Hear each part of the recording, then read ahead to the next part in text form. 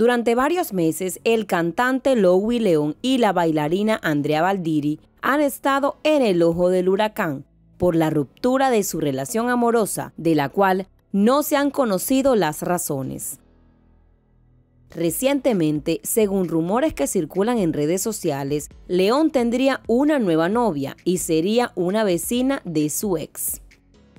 Esta noticia tiene la farándula colombiana revolucionada después de que el programa de entretenimiento Lo sé todo asegurara que el cantante se le dio durante el último fin de semana de enero paseando en San Andrés con otra mujer, cuya identidad no ha sido confirmada, pero al parecer se llama Lisette Córdoba.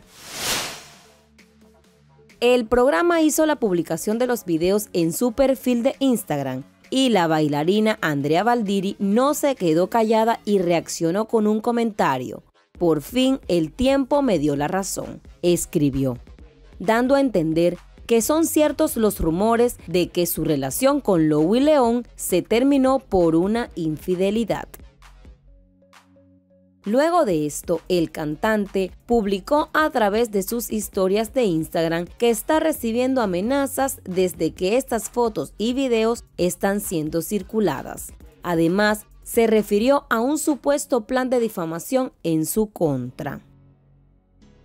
León no ha hecho más referencia a las amenazas, pero de acuerdo a lo que expresó sobre el plan de difamación, se puede entender que los hostigamientos en su contra iniciaron cuando empezaron los rumores sobre su nueva relación, al tiempo que se publicaban imágenes y fotos de él con la que sería su nueva novia. En esta situación, la mayoría de seguidores de la farándula apoya a Valdiri, incluso si resulta ser mentira la supuesta infidelidad de Lowy.